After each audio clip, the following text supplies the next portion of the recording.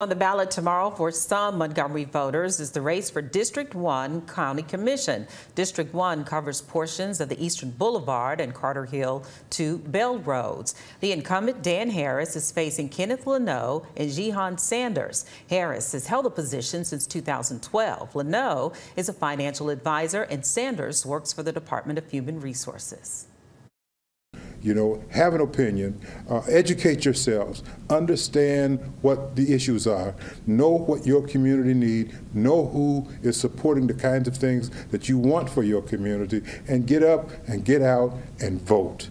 Please, I mean, there's just too, too much at stake, here, at stake here, and the price for your right to vote uh, was too great. Well, I know it's time for, you know, to change the status quo. You know, it's time for for new faces, fresh faces, fresh ideas, vision. Which we have a lot of work to do. We have education is an issue, crime is an issue.